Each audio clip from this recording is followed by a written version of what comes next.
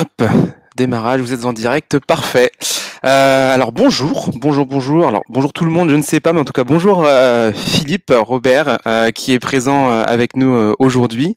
alors initialement, on avait effectivement prévu de faire un, un live meeting concernant Bonjour Maurice, qui avait déjà eu un premier live meeting au préalable, où on avait déjà répondu à pas mal de questions.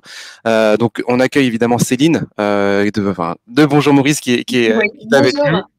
Et sur cet aspect-là, en fait, c'est que la période estivale arrive, euh, les conditions sanitaires ont évolué et c'est vrai qu'il y a beaucoup de personnes qui effectivement aujourd'hui, euh, et je les comprends très très bien, euh, sont pas forcément disponibles. mais en tout cas, on, on voulait vraiment avec Céline bah, permettre à, à, toutes les personnes donc, qui peuvent être présentes ou à l'avenir de pouvoir avoir un suivi de Bonjour Maurice pour justement voilà donner des nouvelles. donc si vous avez des questions, quels que soient les éléments, vous pouvez les poser dans l'onglet questions. mais l'idée c'est voilà, c'est plus un échange assez libre pour vraiment donner des nouvelles euh, sur ce qu'il en est au niveau de la campagne, sur ce qu'il en est au niveau euh, de l'évolution de Bonjour Maurice. Et euh, je vais du coup te laisser la main, Céline, sur justement bah, pour que tu reprennes un petit peu Bonjour Maurice et, et le micro est à toi. Merci beaucoup, Antoine. Donc, euh, ravi d'être ici avec vous. Bonjour à tous. Euh, je vais vous donner quelques petits mots sur Bonjour Maurice. Donc, Bonjour Maurice, c'est une marque belge 100% éco-friendly qui a réinventé le dressing des enfants grâce à un vêtement réversible. C'est vraiment une mode, je dirais, ludique et minimaliste. Et ici, je suis dans, dans la boutique de Bonjour Maurice. Et donc, vous percevez peut-être en, en arrière-plan des petits clients euh, dans la boutique. Si je passe, euh, je vais vous parler un petit peu évidemment euh, plus de la marque et de nos engagements, de, nos éléments vraiment différenciateurs. Donc, Bonjour Maurice a une tagline qui résume un petit peu tout, qui est celle-ci s'habiller mieux avec moins. Donc, évidemment, avec notre vêtement réversible, qui est vraiment un, un, vêtement qui a été créé et qui est conçu pour durer et être porté un maximum de temps, ben, on a remarqué qu'en fait, avec relativement peu de vêtements, on savait créer des garde-robes complètes et s'habiller vraiment pendant toute une saison. Donc, on a un chiffre magique, c'est ce chiffre 7. Avec 7 vêtements, on a 48 tenues et c'est un dressing quelque part minimaliste pour habiller son enfant pendant toute une saison. Produire de manière responsable, ça permet évidemment d'avoir un impact assez colossal en termes d'eau et de CO2, parce que vous le savez, l'industrie du textile est une des industries les plus euh, polluantes. Donc Bonjour Maurice s'inscrit vraiment en tant que marque engagée à travailler l'entièreté du cycle de vie du client pour réduire l'impact environnemental. Et un vêtement Bonjour Maurice, c'est un peu l'économie de 10 vêtements de la fast fashion. Donc, dans le slide qui suit, euh, j'aime bien en fait représenter ben, justement notre approche circulaire. On a été euh, lauréat d'un programme régional bruxellois sur vraiment l'économie circulaire parce qu'on a une approche unique en fait de concevoir un vêtement. Et cette approche, en fait, euh, résume vraiment toutes les étapes du cycle de vie, depuis la production jusqu'à la fin de vie et au recyclage. Donc, au niveau des ressources, nous, on ne sélectionne que du coton organique ou des matières recyclées pour avoir euh, un impact quelque part euh, moindre environnemental. On dessine un vêtement pour qu'il soit porté le plus enfin le plus longtemps possible par un, maximum de nombre d'enfants. Donc, c'est un vêtement qui est peu genré. Euh, à l'exception évidemment des jupes et des robes. C'est un vêtement qui est fait pour, euh, pour, pour vraiment durer dans le temps. Euh, on a moins de taille et évidemment, il est réversible pour multiplier les tenues.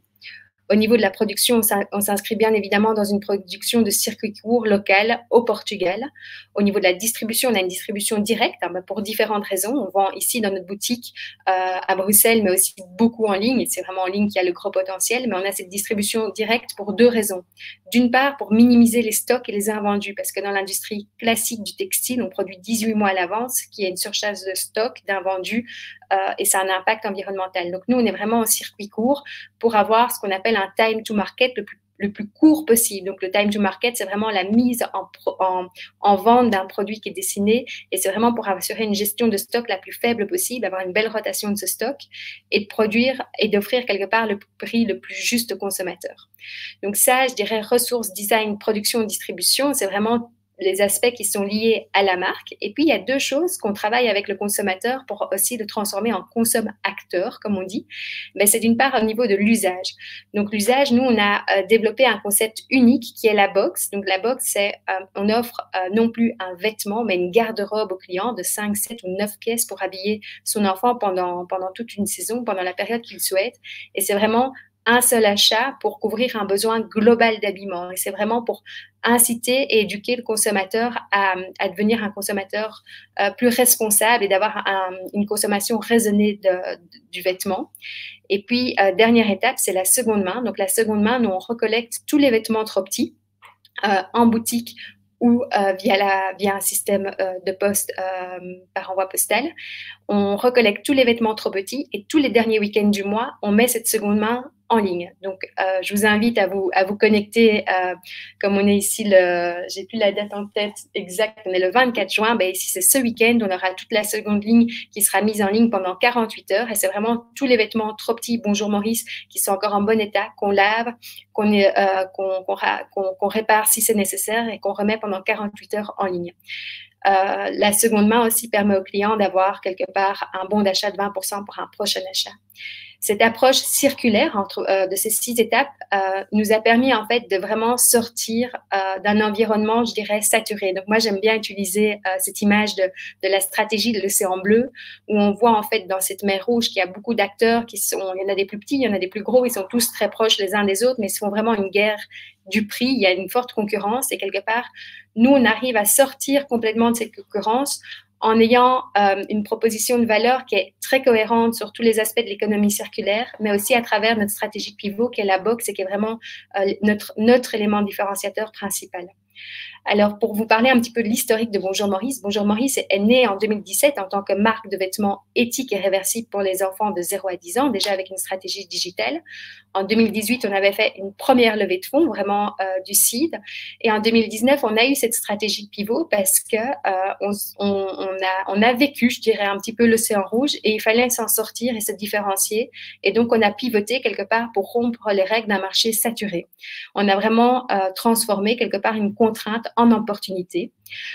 Aujourd'hui, en 2021, on fait donc notre deuxième levée de fonds qui s'accompagne aussi à quelque part euh, ben, euh, dans l'équipe. Il y a une directrice artistique et une styliste modéliste qui ont rejoint maintenant depuis près d'un an et qui, qui travaillent vraiment aussi sur, euh, sur la direction artistique et sur le produit pour l'élever à, à, un niveau supplémentaire. Et l'objectif est que d'ici 20 mois, on soit dans le break-even et rentable.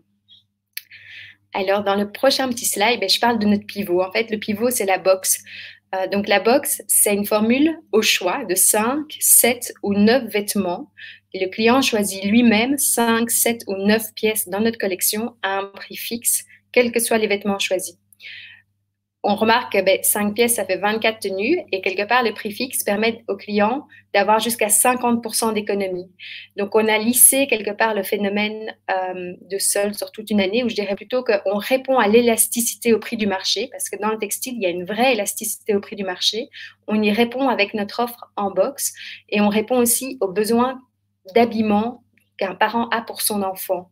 Donc, on ne lui vend pas une pièce à l'unité, mais on lui répond, on lui, offre vraiment le besoin global d'habiller, d'avoir euh, un dressing ludique et minimaliste pour habiller son enfant. Cette box, c'est vraiment ce qui nous a permis de, casser la courbe de croissance. Euh, on en a vendu plus de 700. Euh, elles fonctionnent toutes, je dirais, de manière équivalente. En termes de nombre, je dirais en moyenne, on est sur celle de 7. En termes de rentabilité, marge nette dégagée, ben, la plus rentable est celle de 9, quelque part, parce que sur notre plan de collection, c'est là qu'on travaille quelque part aussi énormément notre plan de collection et c'est là qu'on dégage le plus de marge nette. Euh, c'est sur la box de 9. Et ce que je constate aussi, c'est que notre coût d'acquisition, quelque part, il est le même, quelle que soit la box et quelle que soit la box ou l'unité. Donc, euh, dans le slide suivant, qui, euh, à mon avis, est l'un des derniers, en fait, j'ai vraiment ben, l'offre de box, c'est une offre complètement disruptive parce qu'on est le seul acteur actuellement à proposer cette formule sur le marché.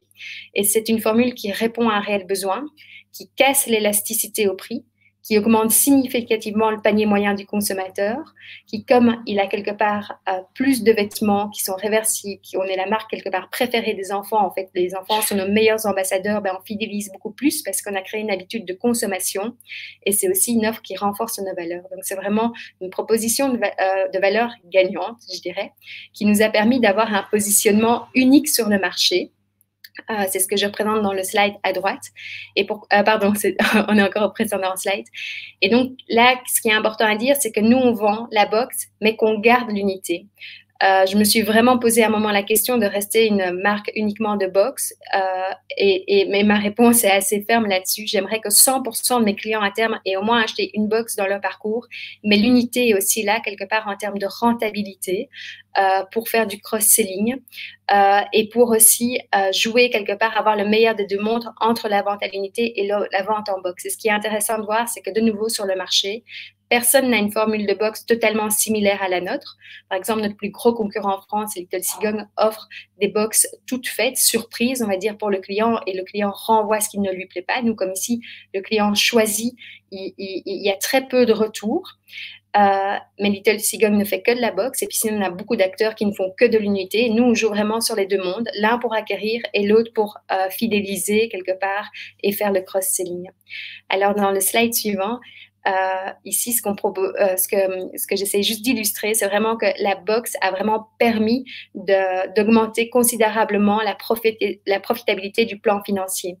Donc, euh, les acteurs textiles, et particulièrement les acteurs textiles éthiques, ont besoin d'atteindre une certaine taille critique pour être, euh, pour être rentable. Et la box, quelque part, nous a permis d'atteindre, enfin, augmente significativement cette, euh, cette profitabilité parce que la valeur vie d'un client box versus un client unité est trois fois plus élevée. Autrement dit, quelque part, mon coût d'acquisition est un tiers de la valeur vie client d'une box. Euh, donc, c'est vraiment, en fait, ça nous, a ça nous permet de rentabiliser quelque part notre, euh, notre acquisition dès la première transaction et de la rentabiliser d'autant plus dans l'avenir. Alors, comme je disais, on a vendu plus de 700 box. On a plus de 500 clients identifiés box. Aujourd'hui, euh, dans les clients 2020, en fait, euh, un client sur deux a acheté une box. Et comme je disais précédemment, moi, mon objectif, c'est que 90% des clients soient des clients box euh, Bonjour Maurice, mais qu'ils achètent vraiment aussi l'unité, qui jouent entre ces deux univers en termes de pourcentage du, chiffre d'affaires, on voit ben, la box ramène un petit peu que 37%. Pourquoi moins? Ben, Parce que sur la box, euh, le client réalise une, économie. Hein. Il, y a, un prix réduit. Mais euh, c'est aussi l'utilité de garder l'unité. Quelque part, on fait le cross-selling, notamment avec la seconde main, pour quelque part aussi générer le chiffre d'affaires et la marge qui est capitale aussi dans ce secteur-là. Et la marge nette d'une box est de 78 euros. Donc voilà, alors au niveau de l'équipe, on est quatre. Euh, donc moi, je suis la fondatrice de Bonjour Maurice, CEO. Euh, j'ai fait des études de commerce euh, en Belgique.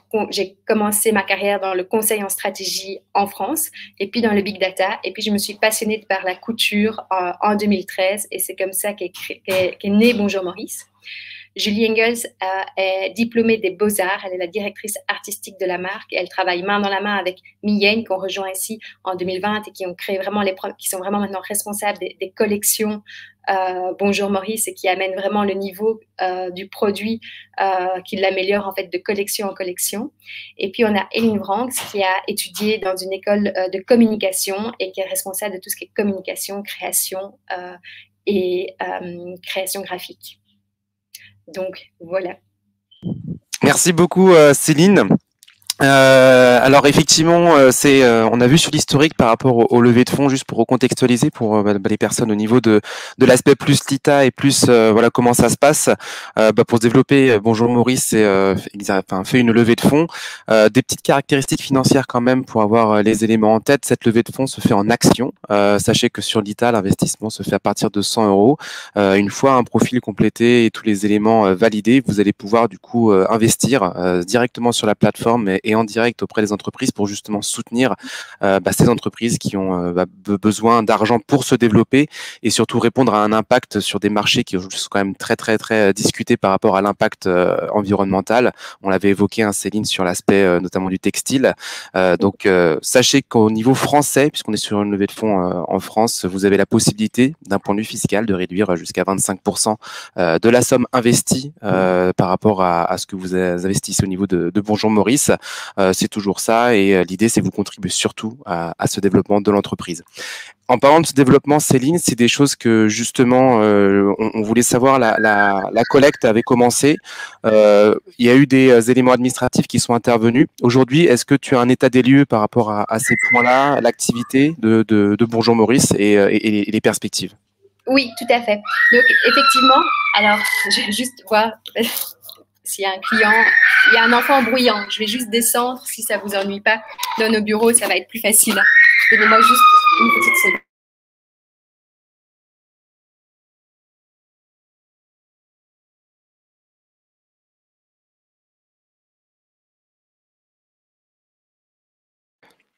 Alors, j'avais juste coupé le micro, Céline, du coup, tu peux le réactiver normalement. voilà, voilà. Donc, au niveau de la levée de fonds, donc effectivement, euh, nous, euh, le processus a été un petit peu long en fait pour une raison euh, purement administrative. comme la levée de fonds globale en fait englobait un montant de 600 000 euros, il y a déjà 400 000 euros qui ont été sécurisés via des investisseurs privés et des investisseurs publics belges. Euh, au niveau des investisseurs publics, ben, il y a eu un petit turnover en fait dans l'équipe du fonds d'investissement euh, qui a quelque part ralenti en fait euh, le processus euh, d'analyse et de convention d'actionnaires du dossier. Donc on a perdu, je dirais, ben, quand même quelques mois euh, à ce niveau-là. C'était vraiment en fait une, ben, je dirais une contrainte un peu administrative euh, et juridique quelque part pour, pour pouvoir euh, incorporer au capital ben, justement les fonds privés, les fonds publics. La bonne nouvelle euh, derrière tout ça, c'est qu'on a donc déjà deux tiers du montant qui est sécurisé. Et euh, aujourd'hui, euh, je suis super heureuse en fait de, de collaborer et d'être de pouvoir travailler exclusivement quelque part avec l'ITA pour le dernier tiers restant. Euh, et donc, on a scindé en fait vraiment l'aspect euh, investisseur public privé belge avec euh, investisseur crowdfunding Lita France en deuxième temps. Ok. Et euh, au niveau de l'activité, euh, aujourd'hui, comment ça se passe sur, pour Bonjour Maurice? Alors, l'activité euh, se, passe, se passe bien. On a, on a, on a proche des 100 000 euros de chiffre d'affaires pour cette année ici, euh, 2021. On a un retour extrêmement positif, en fait, de la nouvelle direction artistique. Euh, donc, le produit, comme je vous disais, ben, le produit, en fait, a été upgradé quelque part avec vraiment l'engagement d'une styliste, d'une directrice artistique formée de 20 ans de métier. Euh, et ça vraiment, on a, on a redessiner quelque part la charte graphique et artistique et on a un feedback extrêmement positif par rapport à cette collection été et qui, qui s'améliore encore. Ça va vraiment au crescendo pour les prochaines collections. Ce qui me permet aussi, moi, en fait, de me focaliser dans, dans mes compétences phares qui sont qui sont le digital et le business. Et au niveau du digital aussi, au niveau du site, il y a pas mal d'améliorations qui sont, qui sont en cours de développement et qui seront réalisées cet été. Euh, donc, je dirais en fait euh, que vraiment tout est sous, sous, de, bonnes, sous de bonnes voies et que, que euh, le business va bien, euh, va tout à fait bien. Parfait. Euh, alors, je ne sais pas s'il y a des choses que tu souhaites rajouter, puisque comme on, on l'avait évoqué en début, on a déjà eu un live meeting où euh, beaucoup de questions. Alors, il y en a qui euh, auxquelles euh, il y, a eu, il, y a eu, des réponses. Hein. C'était surtout au niveau des nouvelles euh, sur l'avancée par rapport à la levée de fonds, par rapport aussi aux besoins, par rapport au développement. cette, bah, ce, ce, live meeting intervient dans une idée de complément, puisque c'est vrai qu'on on avait repris quand même pas mal de questions sur, sur le précédent. Est-ce que tu as des choses à rajouter que tu souhaites partager au niveau des, bah, des personnes qui vont reprendre, hein, qui, sont présentes, qui vont euh, reprendre les rediffusions, euh, juste euh, pour, pour cette période estivale qui va arriver non, je n'ai pas directement d'éléments, mais je dirais peut-être que dans l'utilisation des fonds, ça c'est quand même quelque chose qui me semble assez important. Et donc, moi, je dirais que euh, Bonjour Maurice, quelque part, euh, est une marque forte, quelque part, a une identité forte, un engagement, en fait, très clair et, très, et, et, assez impactant. Euh, que Bonjour Maurice a fait ses preuves avec une proposition de valeur totalement innovante et on a vraiment testé, quelque part, cette proposition de valeur ben, pendant un an et demi, euh, depuis, de, depuis mi-2019.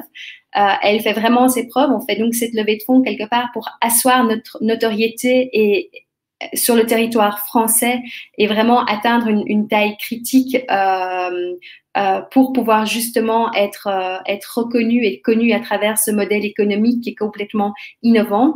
Donc, euh, donc les fonds, en fait, nous permettent vraiment d'investir dans cette croissance et cette croissance qui se scinde en trois pôles, qui est évidemment le stock, quelque part, pour, la, pour pouvoir euh, préfinancer les connexions, même si je disais que mon time to market était de plus en plus restreint, il est toujours minimum de trois mois.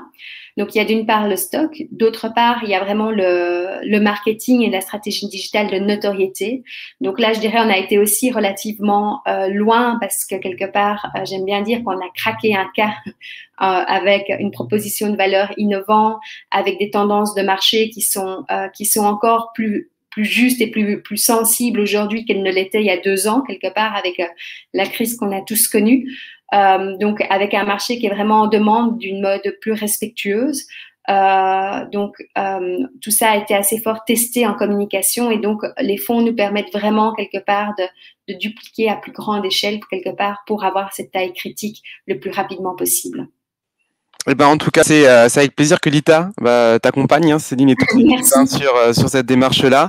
Euh, bah, je vais vous proposer du coup de nous quitter sur ces, euh, sur ces derniers mots-là. N'hésitez surtout pas, si entre-temps il y a des éléments qui, qui vous questionnent à venir vers nous, je reste disponible bien entendu pour répondre à tous les aspects sur la question Lita, la levée de fonds. Et Céline, avec grand plaisir aussi, pouvoir répondre à des questions qui peuvent être posées sur le site ou revenir par mail.